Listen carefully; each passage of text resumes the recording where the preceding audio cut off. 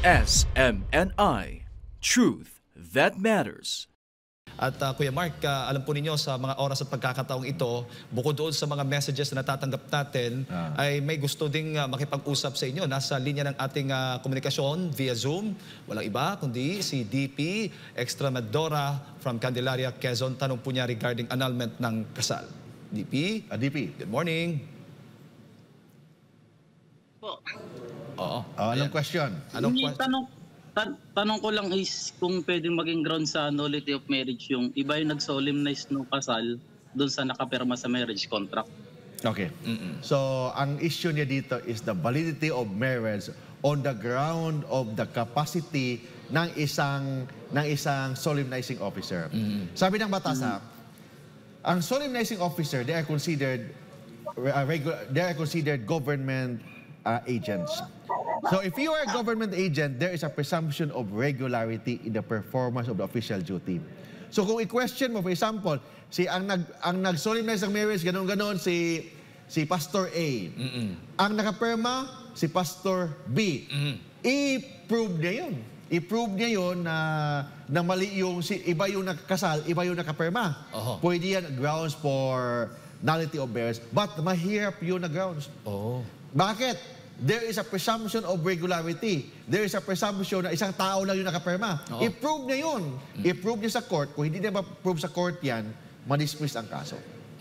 Ayan, DP. Mm. Kasi yung, nag, yung nagkasal po sa amin is vice mayor. Tapos yung nakapirma is yung mayor. Yeah, tama, tama.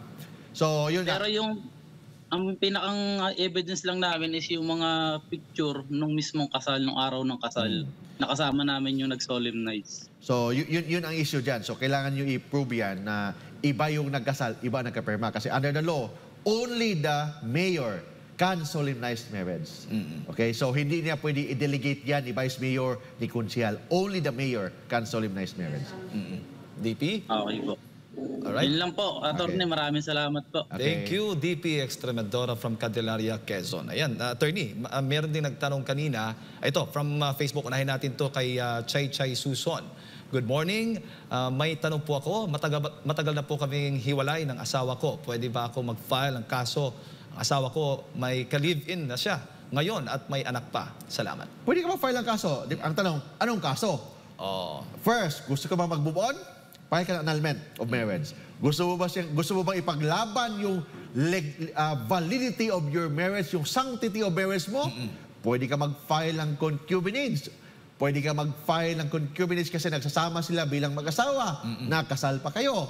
Or, or pwede ka mag-file ng bawsi, psychological abuse, emotional abuse, including economic abuse. Ayan. Um, from uh, Rena Manos, may tanong dito. Hello po, attorney. May I ask, pwede po ba ma-file yung kaso kung dati na po nagloloko o nagloloko yung husband mo tapos meron po akong uh, screenshot sa mga panloloko niya. Pwede, pwede ka mag-file ng kaso. Ang tanong, Ebidensya na yun. Anong klaseng panuloko? Kasi sabi ng batas, kahit na, kung pinag-usapan natin is concubinage, kahit na nabuntis niya yung babae, hindi yan evidence of concubinage. Oo. Bakit? Very clear ang batas.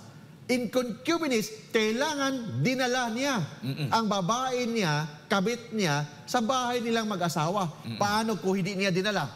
Kasi binisita lang niya doon. Nakikita lang sila sa motel. Is it a crime of concubinage? Hindi. Oo. Hindi yan concubinage. But under Republic Act 9262, kung ma-prove na nasaktan yung damdamin mo, ikaw babae, nasaktan ang damdamin mo dahil yung asawa mong lalaki may ibang iniibig. Yan. Republic Act 9262, psychological abuse, emotional abuse. Mm, papaano, attorney? Ah, halimbawa, yung ah, mag-asawa, babae at lalaki kasal dito sa Pilipinas. Yes. Ah, may visa pa ba? At ang gusto ng babae na makipaghiwalay. Okay? Ah, may annulment ah, case between ah, yung husband niya. Ngayon, yung lalaki, eh, nag-abroad. Nag, for example, nagpunta ng Amerika at nag-change ah, ng ah, citizenship. Ano ang ah, magiging ah, resulta nun? Kung nag-change siya ng citizenship, ibig sabihin, mixed marriage na. Aha. Kasi mixed mar- marriage na, pwede siya mag-file ng divorce sa US. Pag mag-file siya ng divorce sa US, may divorce na. Yung divorce na yan, hindi yan automatic. kailangan mo pang ipa-register dito sa Pilipinas. Mm, dahil yung lalaki ay nag-asawa din doon. Kasi yung lalaki is already a foreigner kasi naging citizen na siya eh.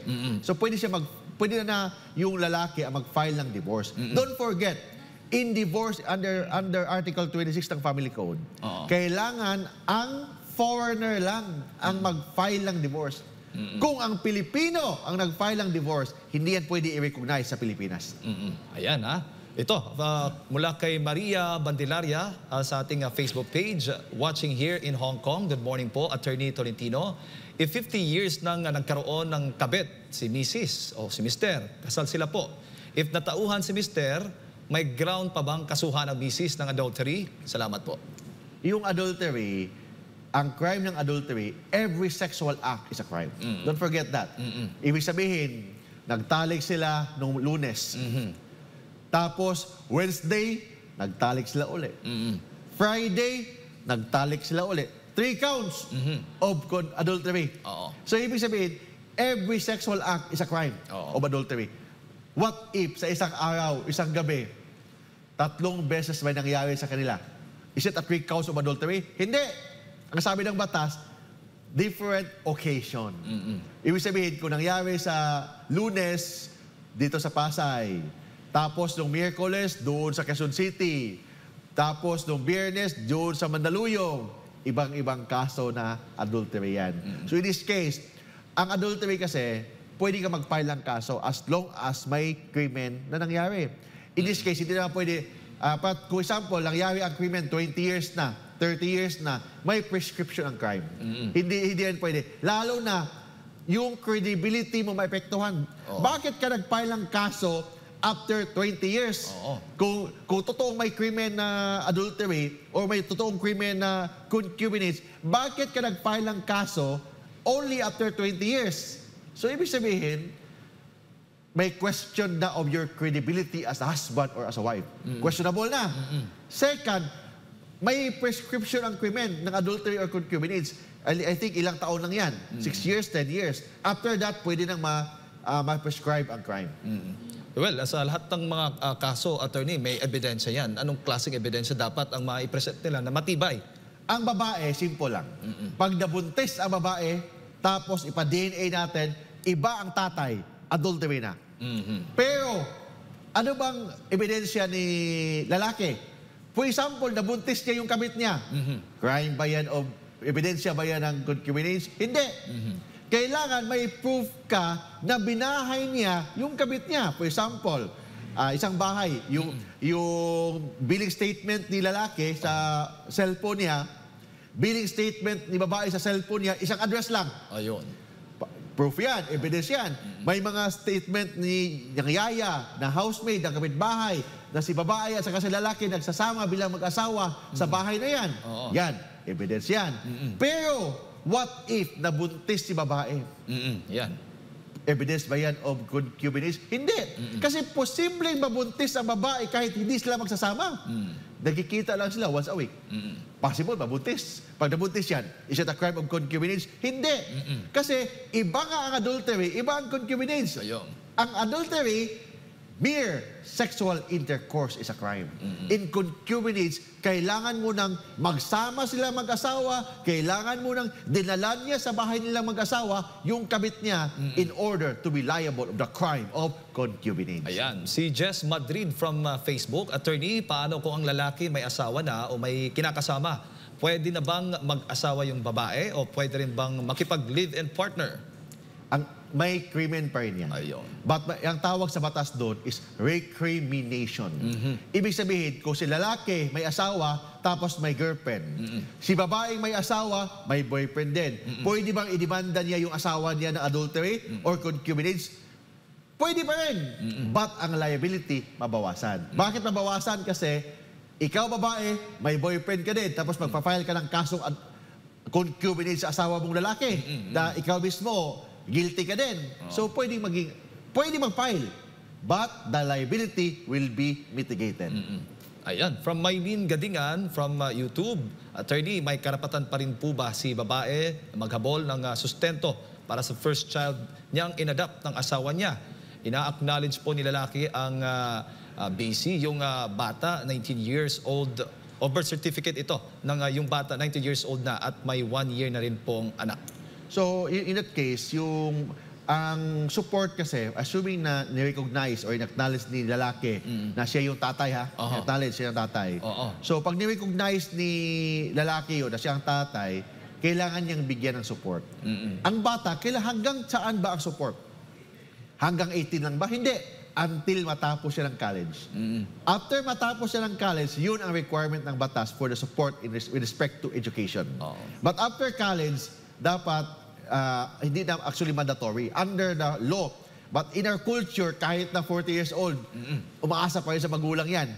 Under our culture. But in the law, sabi ng batas, up to the time na he, he or she reaches the, the matapos siya yung college degree niya. Mm-mm. Ayan. So ito pa, may mga kat- katanungan pa tayo dito, attorney. Pag nag-usap at nagkasundo si Mr. at si Mrs. na wala na silang pakialam sa isa't isa, at ah, nawala ba ang criminal liability na adultery o concubinage? Yes, mawala. Ito ang tinatawag, ah, Jade, na consent or pardon. Ayon. Ang consent, pumapayag si babae or pumapayag si lalaki na maghanap ng iba yung kanyang asawa. Consent. Ibig sabihin, future act.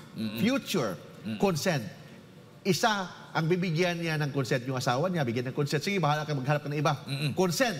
That is a a defense in adultery or concubinage. Pero kailangan ah, pa rin na Kuya Mark na may papel silang pipirmahan. Actually, Wala na. hindi mandatory ang papel. Ayun. But mas maganda may papel para at least kung i-deny niya, oh, nakaperma ka? Oh, yun, yun, oo. Nakalagay dito oh, na pumapayag, pumapayag ka na mag, maghanap ako ng ibang girlfriend. Oo. Pumapayag ka na maghanap ako ng bagong boyfriend. Oh, kasi- yun. Yun ang tinatawag na consent. Ibig sabihin in consent, future act. Iba sa pardon. Ang pardon, prior act. Ibig sabihin, pinatawad mo na yung asawa mong babae. Pinatawad mo na ang asawa mong lalaki na, mag- na nagka-boyfriend siya dati, nagka-girlfriend siya dati. Yun ang pardon. Ayun. But in pardon, ibig sabihin, pagpatawad, hindi lang pwedeng patawarin mo ang asawa mo. Kailangan kasama sa pagpatawad yung kanyang kabit. Dapat patawarin mo in order na mawala ang criminal liability. Ayun. From uh, Test uh, Dais Ricote sa ating uh, Facebook page, Good morning, attorney. Divorced ako dito sa Japan. Amended na passport ko 2006 na grant dito sa Philippine Embassy, Tokyo, Japan, per Article 26 of Philippine Family Code as amended on divorce. Yan po nakastamp sa passport ko. Pwede na po ba akong uh, pakasal sa Pilipinas? Sama sa, sa sinasabi ko, yung divorce na pinag-uusapan natin under Article 26 of the Family Code, applicable lang yan sa mga mixed marriages. Mixed marriages, ibig sabihin, ikaw babae, ano ba pangalan nun? Si Tess Te- oh, si Ricote. Presumption ko dyan na kanyang asawa, hapon. Yan, pwedeng ma-recognize yan sa Pilipinas, ang divorce dito sa Pilipinas, yung kanyang yung kanyang divorce. Oo. Provided na ang nag-file ng divorce yung kanyang asawang lalaki na hapon or silang dalawa ang nag-file ng divorce sa Japan. Pag mayroong ganon, yung divorce decree nila pwede nang ma-recognize dito sa Pilipinas. Ayan. Ito pa, may katanungan pa dito. Pag pinatawad ni Mrs. si Mr. sa pangangaliwa, ano ang epekto nito sa criminal liability of adultery? Kung pinatawad ni Mrs. si Mr., kailangan hindi lang si Mr. ang patawarin. Kasama ang kanyang kalatsuchi. Akala chuchi, oh. Kasama ang kanyang kabit. Kabit. Or yung tinatawag sa batas, concubine. Concubine. Kailangan kasama si concubine na patawarin. Kung hindi kasama si concubine na patawarin, may criminal liability. Walang epekto yung tawad-tawad na yan. Kasi yung pagpatawad or yung pardon na sinasabi ng batas, kailangan ibigay sa husband, ibigay din sa kabit. Ayun.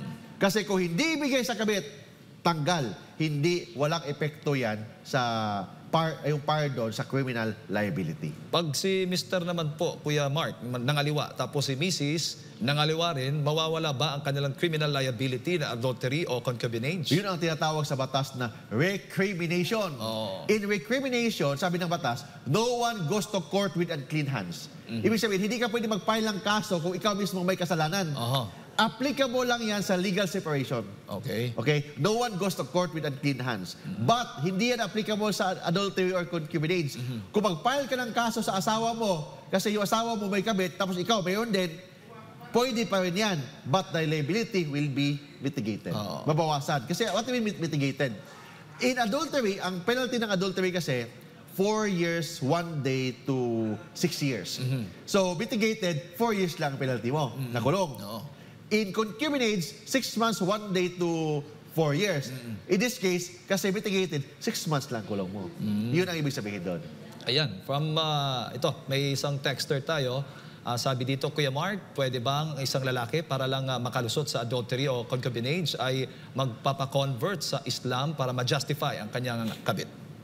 Ang magpa-convert ka ng into Islam, basta sundin mo lang yung Islam law, wala lang problema yan. Basta ang Islam, may requirement din yan. Hindi, hindi yan ah, religion by convenience.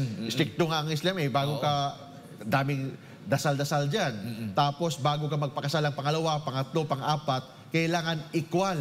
Walang favorite, favorite wife. Oo. Walang favorite wife. Ibig sabihin, kung kung magkano yung support na binigay mo sa first wife, dapat yun din ang ibibigay mong support sa second wife, sa third wife, sa fourth wife. Hindi na support. Kasama oras. Oo. Kung binigyan mo yung first wife mo ng 24 hours a month o a week, kailangan sa second wife 24 hours din. Oo. Sa third wife 24 hours din. Kung hindi mo kaya yan, Dapat pantay. hindi mo kaya yan, baka magkasala ka sa Panginoon. Yun ang, yun ang paniniwala ng mga Islam. Mm. May epekto ba ang criminal liability sa adultery pag inaabandona si babae ng kanyang asawa? Pag ina-abandon ni, ni lalaki yung asawa, mabawasan ang criminal liability. Yun ang tinatawag na mitigation. Ah, Ayan. So ano naman po ang liability ng mga kabit? kabit. Kalachuchi. Kalachuchi. Kabit. Ito mga By the way, ang kabit, by the way ha, ang, ang kabit na lalaki, ibig sabihin, babae ka, tapos may boyfriend ka. Ang tawag sa boyfriend mo, kung may asawa ka, paramour. Oh, para more. Ikaw babae, o ikaw lalaki, may babae kang girlfriend, na asawa ka, ang anong tawag sa babae mo? Concubine. Don't forget the word. Paramour and Paramour and concubine. In in paramour, kung ano ang penalty ni babaeng nangangaliwa, yun din ang penalty ni paramour. Ibig sabihin, kung four, six years na kulong, yung kabit, six years din na kulong. Provided na yung kabit, alam niya na yung babae may asawa, pinatulan pa rin niya. Pero kung hindi niya alam, lusot si kabit. Kung hindi niya alam na may asawa, si kabit o si lalaki. Lalaki. Iba ang, o si babae ang may asawa. Iba sa lalaki.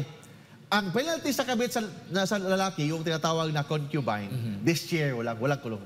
Ah. So ang kabit ni, ni lalaki, hindi makukulong. Ang tawag doon sa batas destiero, palayasin lang. For example, nangyari dito sa Makati, okay, layas ka, punta ka ng Pampanga, doon ka, huwag ka dito sa, Pil- sa Metro Manila. Kasi babae yun eh. Pero Oo. yung mga lalaki, meron pananagutan. Kung yes, yung mas, kabit. mas stricto ang batas sa babaeng nangangaliwa kaysa lalaking nangangaliwa. Ayun. Bakit? Ang babaeng nangangaliwa, ang kabit niya, si Paramore, kung ano yung kulong niya, yun din ang kulong ng kabit niya sa babae. Sa lalaking nangangaliwa, si lalaki lang makukulong.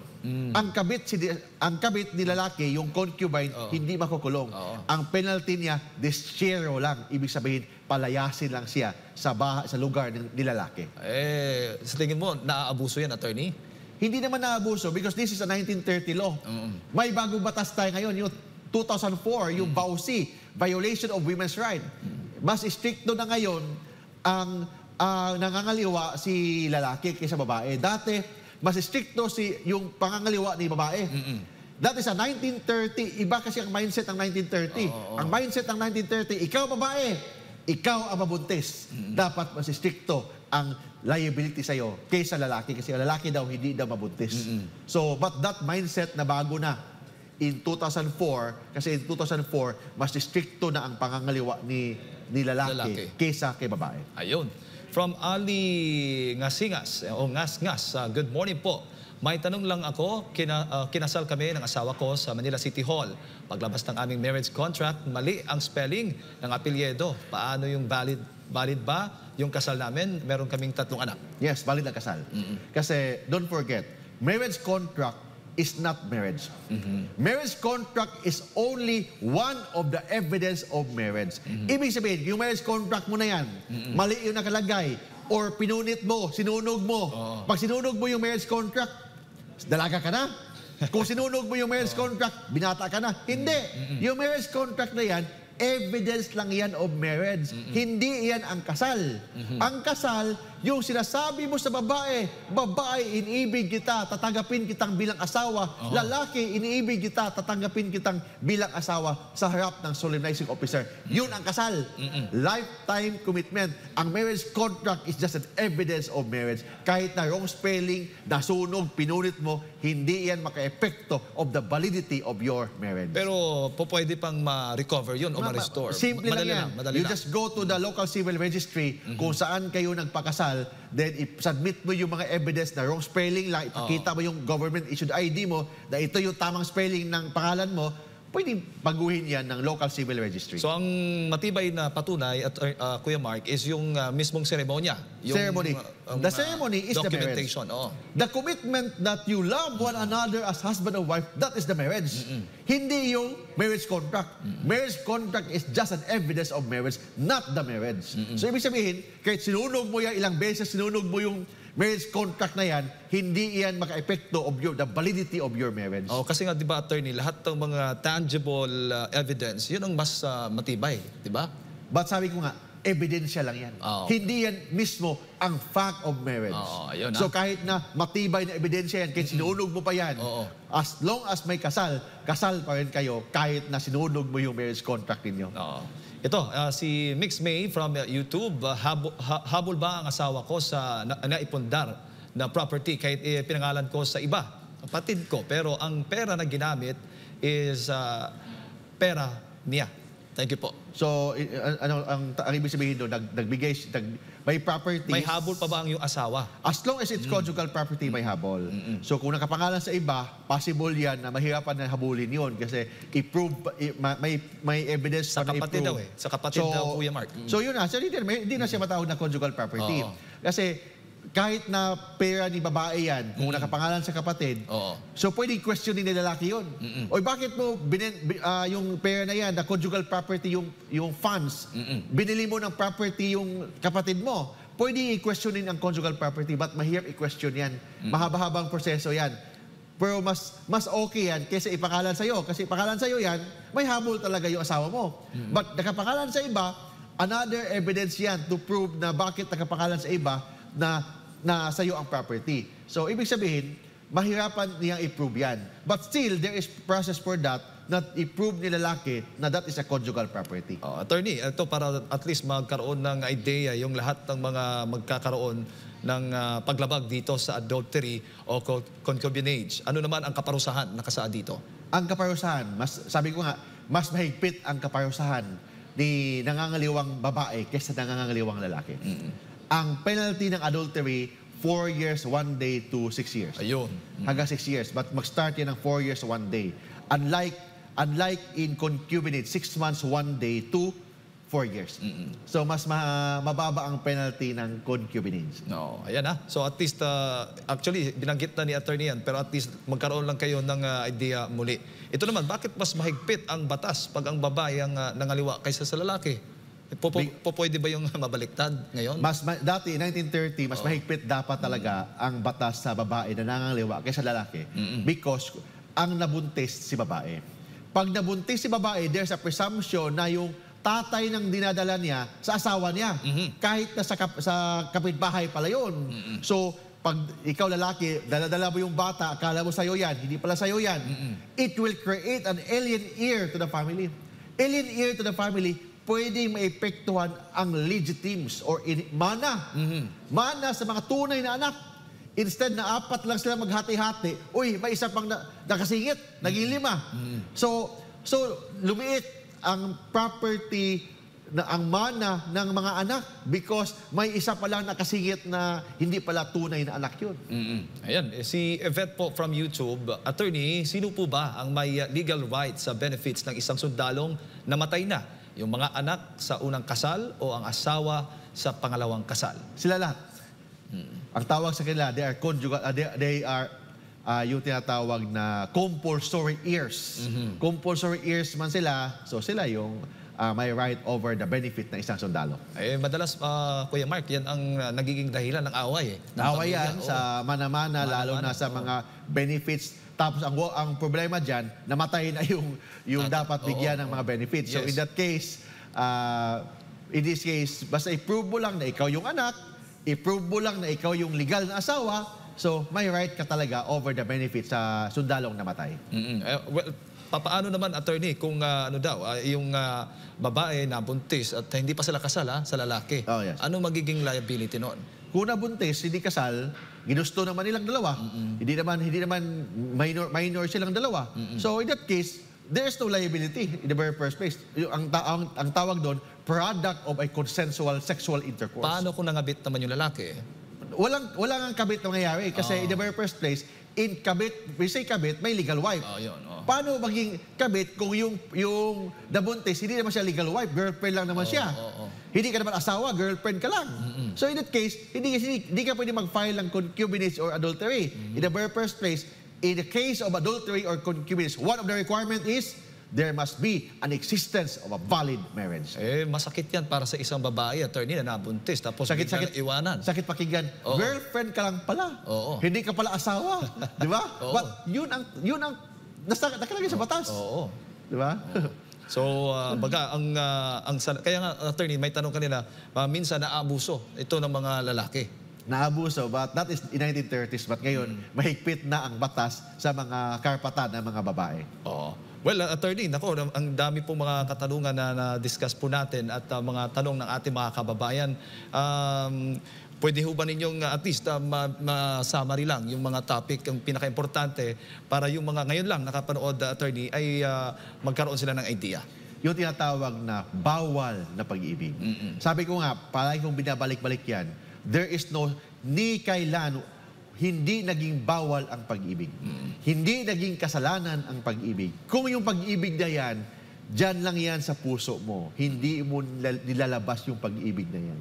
Pero pag nilabas mo yung pag-ibig na yan, pipiliin mo kung sinong dapat mo, mong mahalin.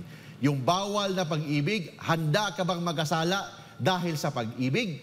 Or pipiliin mong ah, pag iwasan ang pag-ibig, hindi ka lang magkasala. Pili ka lang, doon ka ba sa kasalanan or doon ka sa pag-ibig. So, yun ang issue dyan sa pangangaliwa. But under the law, one of the obligation of the husband and wife, you must be loyal, faithful to your husband and to your wife. That is one of the requirement of marriage. Kung hindi, you can be criminally liable of adultery or concubinage. Ayan. Subscribe to SMNI News Channel and turn on the notification bell to keep you up to date. Also visit our official social media accounts and join our community on Viber and Telegram.